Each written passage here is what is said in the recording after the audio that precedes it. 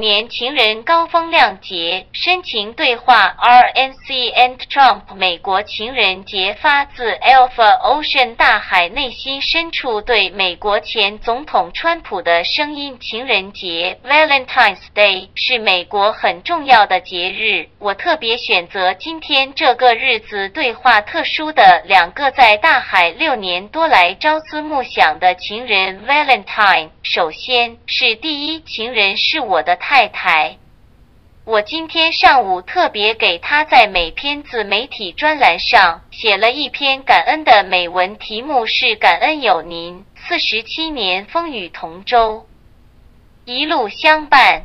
其次是柏拉图式的既不谋一面又惺惺相惜情人唐纳德·川普和罗姆尼·麦克丹尼尔。罗纳·麦克丹尼尔 （Rona McDaniel），美国共和党全国委员会主席。二零一六年十二月十四日，美国后任总统特朗普宣布提名罗纳·罗姆尼·麦克丹尼尔 （Rona Romney McDaniel）。Lovers in the year of the Tiger Gal Fungliang Festival. Affectionate dialogue with RNC and Trump Valentine's Day in the United States comes from the heart of Alpha Ocean. The voice of former U.S. President Trump Valentine's Day is a very important holiday in the United States. I especially choose today to talk to two special Valentines who have been in the sea for more than six years. First of all, the first lover is my wife. Dot. This morning, I wrote a thankful Maywen for her in the Beauty We Media column titled Thanks for Having You. 47 years of standing together through thick and thin, with you all the way. Second, there is the platonic, neither side, but also sympathetic, lovers, Donald Trump and Romney McDaniel. Ronna McDaniel, chair of the Republican National Committee. On December 14, 2016, President-elect Trump announced the nomination of Ronna Romney McDaniel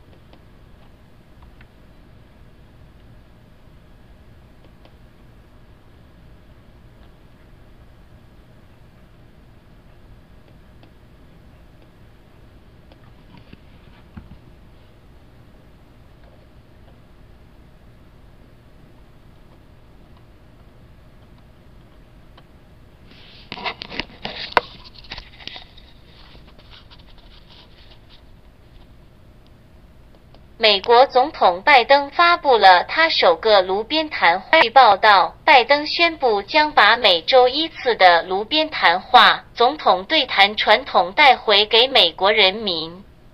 白宫表示，炉边谈话是美国前总统罗斯福创建的每周总统广播演说形式。拜登将采取多种方式继续这一传统。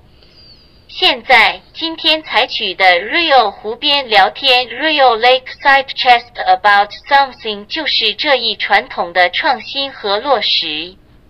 拜登说得好，创新只有在自由的地方才能发生。V V V Vinny，现在我们来了。Vidi，我们看见了。Vici，我们征服了。在我策划美国民主党和特朗普总统派自己的儿子和儿媳或女儿。在。北京冬奥会期间充当类似基辛格旋风的密使，代表未来突破中美关系的突击队和先行者。详细设计理念和构想，请参考我在元旦以来直到一月底期间远筹帷幄、决胜千里之外的北京单刀赴会密信报告。这就是我的风云三尺剑之一。共和党的太子剑计划，这一点，这件策划经过的事实和当事人的表态都是可以考察的。我从中也看出了特朗普总统和共和党每逢大事举棋不定、缺乏战略的通盘权衡和果断冒险的决心和动力。这正是特朗普总统需要总结以往从事商业和政治谋划脆弱的盲区和软肋。具体类似的情况很多很多，识时务者为俊杰，不识时务者一步失败。接下来很被动，这是可以证伪的。假如特朗普总统和民主党最高决策团队。能够在事前预测到北京冬奥会的今天的效果，您们看一看，想一想，如果按照我的太子建明修栈道暗度陈仓，习近平团队和特朗普儿女团队之间就已经搭上了一座中共和共和党两党同心携手一起向未来的雏形，已经显山露水了，是不是啊？我成天收到的特朗普总统和其他决策团队的电子邮件的每封信的内容，重中之重就是要钱，而我的美国信用卡不能再在 Google 上刷脸和捐款了。因为我已经有过三次这个用信用卡支付回信的深刻教训了。一旦我使用我的信用卡的支付，所有信用卡的信息和密码都被破解了，而且我不能控制，这样我的资金就会不翼而飞了。所以，我以后永远都不会再用信用卡支付捐款，这样的风险，我这个退休的老人承担不起。对不起，这是我对参政不捐信用卡的选择。我从二零二二年起，每个月保证通过共和党总部交纳十美金的党费，因为我在中国大陆的共产党基层支部组织中。每月的党费标准是人民币十元整，也就是一点三美元。而我此前每个月交纳的捐款实际都超过一百三十美元。这是我打退堂鼓，拒绝以这种简单、贬低我的智商、贬低我的收入能力的形象参加竞选和民主党竞争的方式。我认为这是看不起我的能力和 Mega 的智慧和人格。以后请不要再给我类似这样方式发送邮件，我没有时间阅读这样的垃圾文件。我的价值观是：时间就是金钱，效率就是生命。有本事就在战略上为国家和人民谋大事，赚大钱，走大道。不要斤斤计较，唯利是图，这是充满低智商的一种哗众取宠的诱惑和无能表现。今天在此，我特别郑重证明，我参加美国共和党的目的不是要做大官，也不是要竞选马里兰州的共和党议员。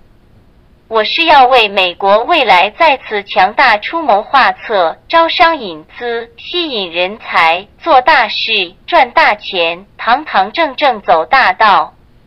智者见于未萌，大海踩在美国正在走向衰弱和脆弱的强权路上。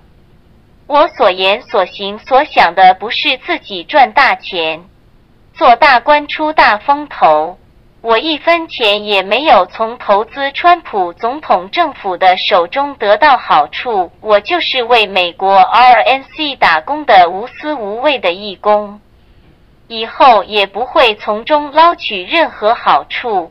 请把我的所作所为与我的家人和女儿等有任何联系和来往。我就是我一个来自中国南海的深圳改革者和开荒牛排头兵。我在中国就是一个普通的退休中共普通党员。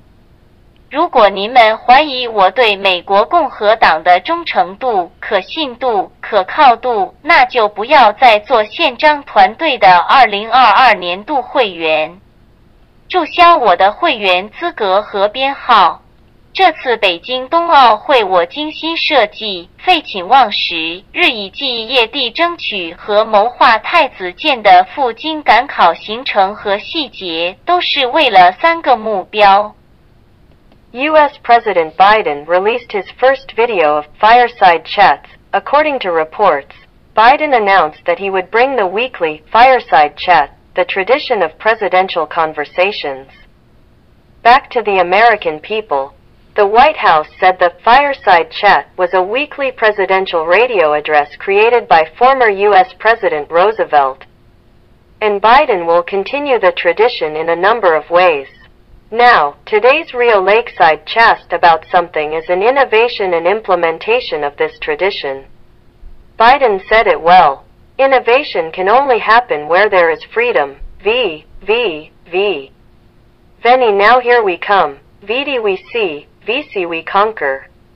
When I planned the U.S. Democratic Party and President Trump to send their sons, daughters-in-law or daughters to act as Kissinger like whirlwind, emissaries during the Beijing Winter Olympics, to represent the future commandos and pioneers of breaking through Sino-US relations.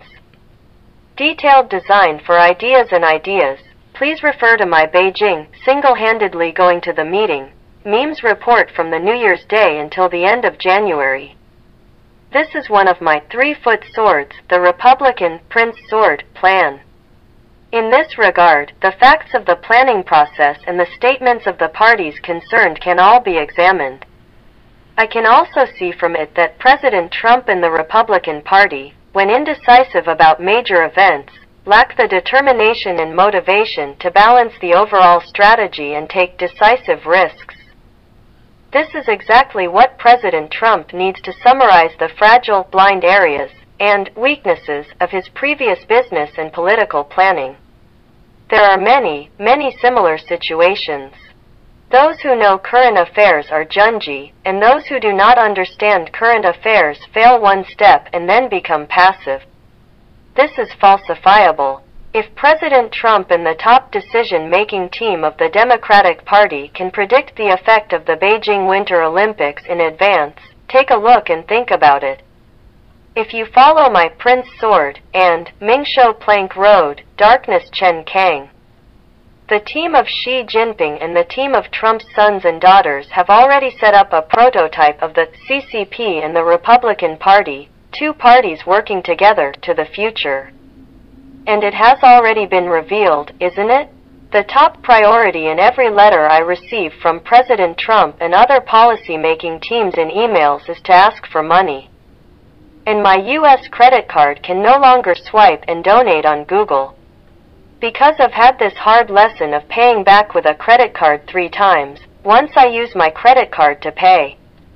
All the credit card information and passwords are cracked, and I can't control it, so my funds are gone.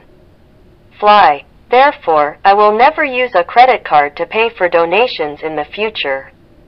I, a retired old man, cannot afford such a risk sorry, this is my choice of not donating a credit card for participating in politics. From 2022, I will guarantee to pay a party fee of $10 every month through the Republican headquarters. Because I am in a grassroots branch of the Communist Party in mainland China. The monthly party fee standard is 10 yuan. That's $1.30. Before that, my monthly donations were actually more than $130. This is my way of backing off and refusing to run and run in the Democratic Party with this simple, demeaning image of my IQ and my earning power. I think it's looking down on my abilities and the intelligence and personality of MAGA. Please don't send me emails like this again in the future. I don't have time to read such junk files. My values are time is money, efficiency is life. If you have the ability, you can strategically do great things for the country and the people, make big money, and take the road. Don't be fussy about profit seeking. This is a kind of grandstanding temptation and incompetence full of low IQ. Here today, I solemnly certify that my purpose in joining the Republican Party of the United States is not to be a high ranking official, nor to run for the Republican Congress of Maryland. I want to make suggestions for the future of the United States to become stronger again, attract investment, attract talents, do big things, make big money, and walk on the road with dignity. A wise man is seen before the bud, and the sea is stepping on the road to a weak and fragile power in the United States. What I say, do, and think is not to make a lot of money by myself. To be a big official and make a lot of limelight. I didn't benefit from investing a penny in the Trump administration. I am a selfless and fearless volunteer working for RNC in the United States. There will be no benefit from it in the future. Please link my actions with my family and daughter, etc. I am a Shenzhen reformer and pioneer from the South China Sea. I am an ordinary retired CCP member in China. If you doubt my loyalty, credibility, reliability to the Republican Party of America, then stop being a 2022 member of the charter team. Cancel my membership in number. For this Beijing Winter Olympics, I have carefully designed the itinerary and details of the Prince Sword, going to Beijing to take the test day and night. All for three goals.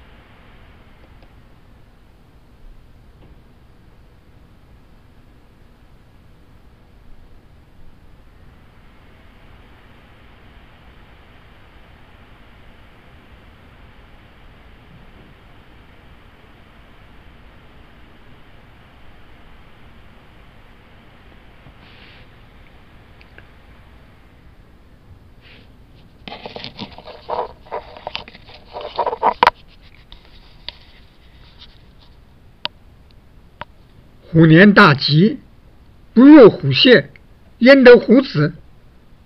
我有一个目标，就是请美国重新发现中国，请将中国视为一个机遇，抓住北京冬奥会和春节这个全国人大和全国政协的两会期间，实现美国共和党对中国。关系的破冰机遇，打虎亲兄弟，上战上阵父子兵。虎去青山在，山青虎再来。爱犬不入虎穴，焉能培养出虎子？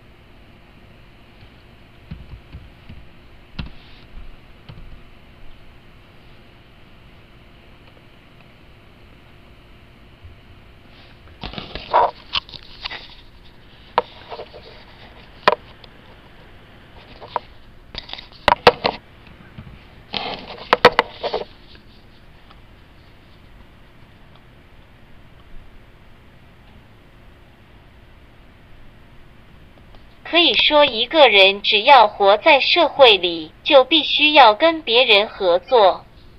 但合作的过程经常会让人不开心。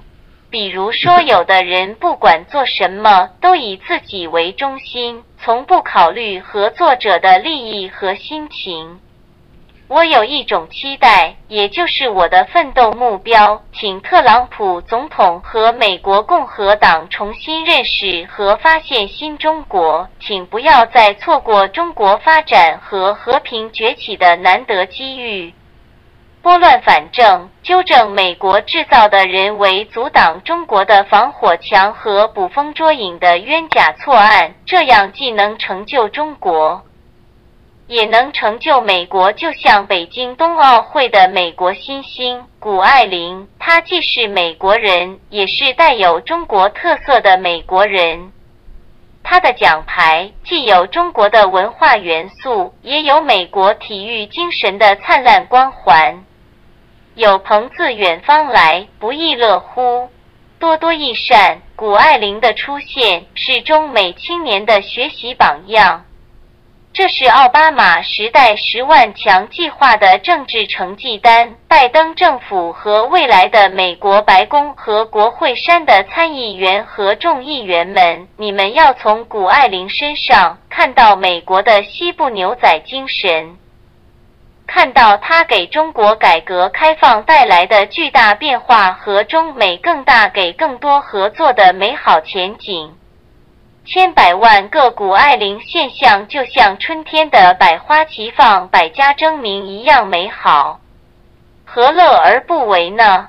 一是为了美国的最大利益，请下定决心，重新得到中共上上下下对美国共和党的信任和理解。以便恢复到尼克松总统访华时期的中美蜜月期关系，以便我们展开更广泛、更务实、更长久的合作，竞争伙伴双赢、互利相辅相成的密切关系。什么是最佳的美中合作关系呢？那就是各自立心求真。务实诚信，按照联合国宪章和联大规则依法办事，处理国家间的矛盾和纠纷，解决中国台湾问题是中美之间互利双赢、各自利益最大化的一场新型大国积极合作制度化的囚徒博弈。我是出生在 WWII 战后台湾光复、回归中华民国的第一代中国台湾之子。为和平结束内战状态，按照 UN 宪章和联大两千七百五十八号决议的落实，从二十六岁大年春节初一，上书中国最高领导人毛泽东提出的五点解决台湾问题建议。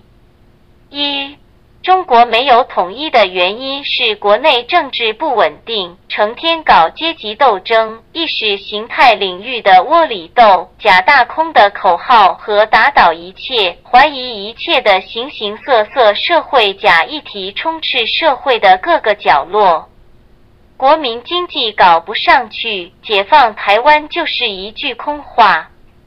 二要把中国生产和经济活动搞上去，就要踏踏实实解放生产关系，解放人与人之间的阶级成分的划分和不平等现象。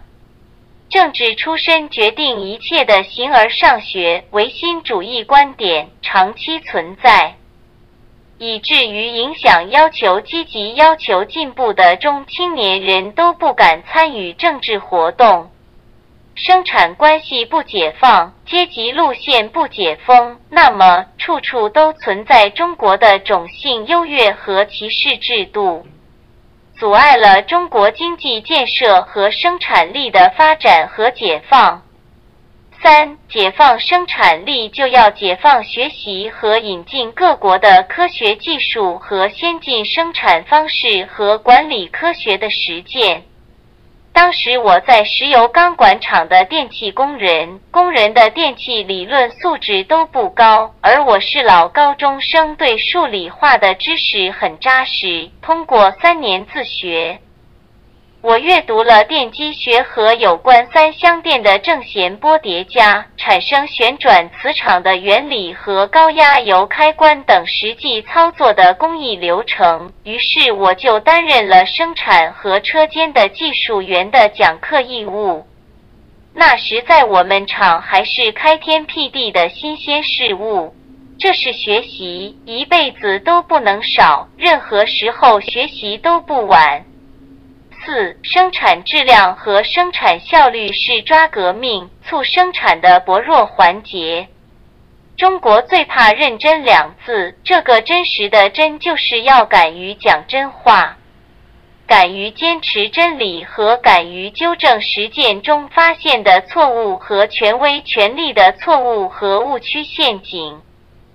当时最大的现象就是走后门和拉关系、找门子、占小便宜、偷工减料、马马虎虎、得过且过的现象普遍存在。我提出了岗位责任监督人人有责、分区负责制的细分建议。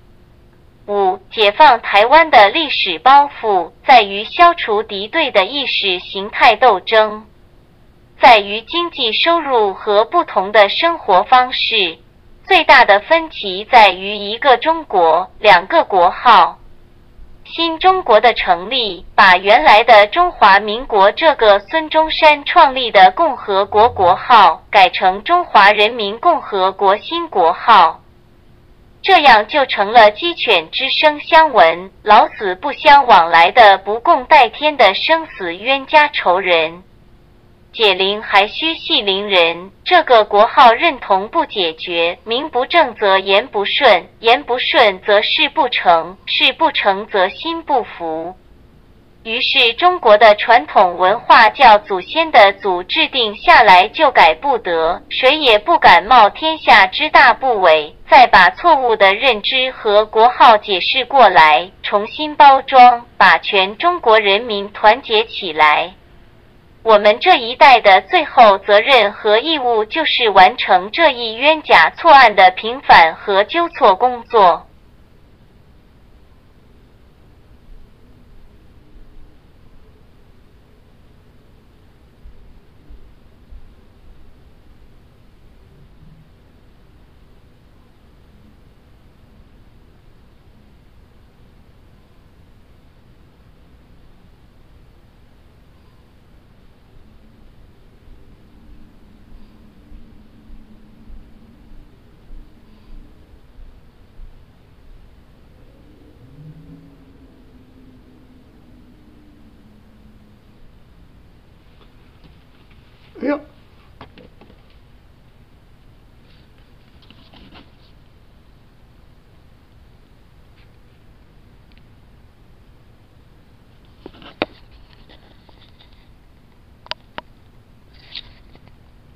！It can be said that as long as a person lives in society, he must cooperate with others.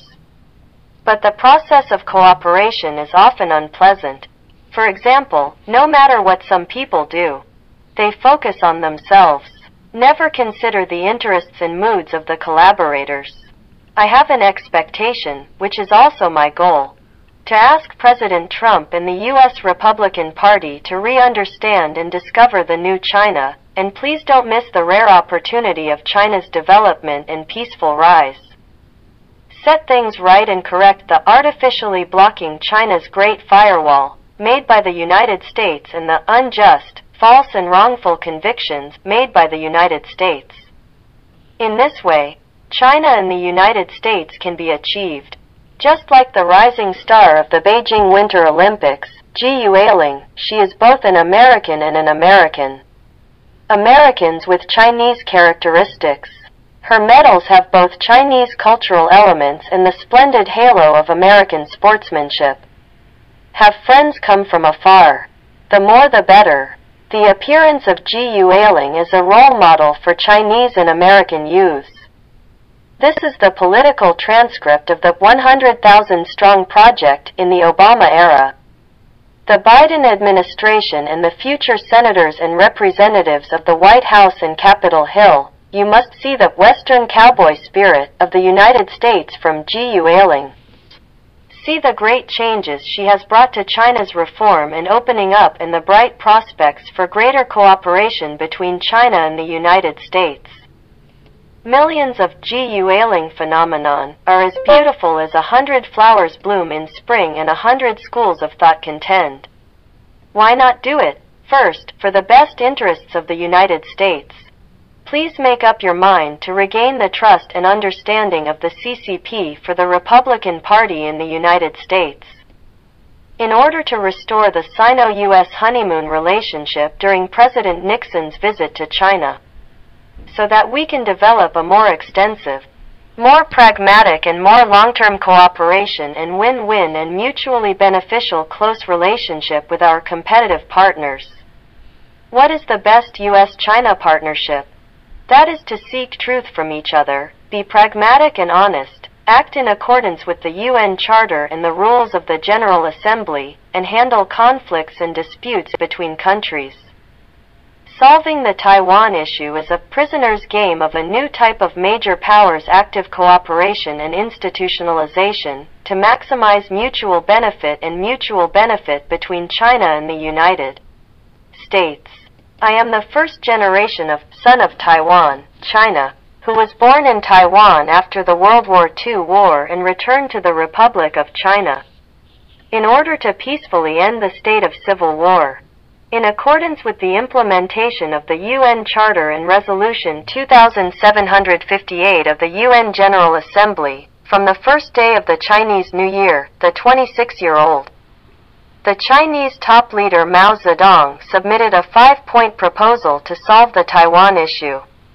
1. The reason for China's lack of unity is domestic political instability, class struggles all day long. Fight in the ideology, the slogan of Fake the Big Empty, and various social fake issues of overthrowing everything and doubting everything fill every corner of society. If the national economy fails to improve, the liberation of Taiwan is just empty talk. 2. In order to promote China's production and economic activities, it is necessary to steadfastly liberate production relations and liberate the division of class composition and inequality between people. The metaphysics and idealist viewpoints, whose political background determines everything, have existed for a long time. So that young and middle-aged people who influence and actively demand progress are afraid to participate in political activities. If the relations of production are not liberated and the class line is not lifted, then China's caste, superiority and discrimination system will exist everywhere. It hinders the development and liberation of China's economic construction and productive forces. 3. To liberate the productive forces is to liberate the practice of learning and introducing science and technology, advanced production methods and management sciences from various countries. At that time, I was an electrical worker in a petroleum steel pipe factory. The electrical theory quality of the workers was not high, and I was an old high school student with solid knowledge of mathematics, physics, and chemistry. After three years of self-study, I read electrical mechanics and three-phase electricity.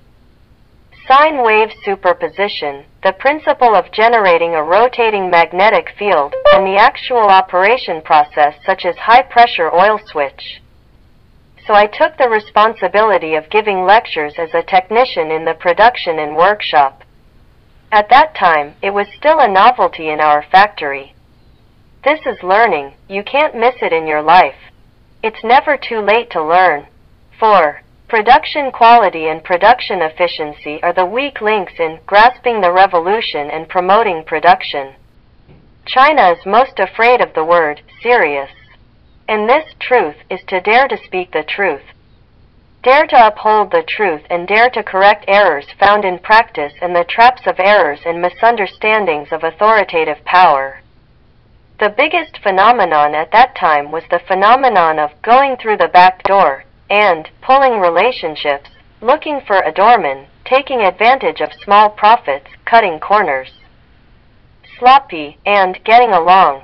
I proposed post responsibility supervision, for everyone responsibility, subdivision recommendations for zoning accountability. 5. The historical burden of liberating Taiwan lies in the elimination of hostile ideological struggles. It depends on income and different lifestyles. The biggest difference lies in 1. China, 2. Country names. The founding of New China changed the original Republic of China, the Republic of China founded by Sun Yat-sen, to the new title of the People's Republic of China. A life and death foe who shared the sky. To untie the bell, the person must be the bell. The identity of the country cannot be resolved. If the name is not correct, the words will not go well. If the words are not in order, the things will not be successful. If the things don't work, the heart will not be convinced. It can't be changed. No one dared to risk the world's big injustice and then explain the wrong perception and country name, repackage it, and unite the whole Chinese people. The final responsibility and obligation of our generation is to complete the work of rehabilitating and correcting the wrongful convictions.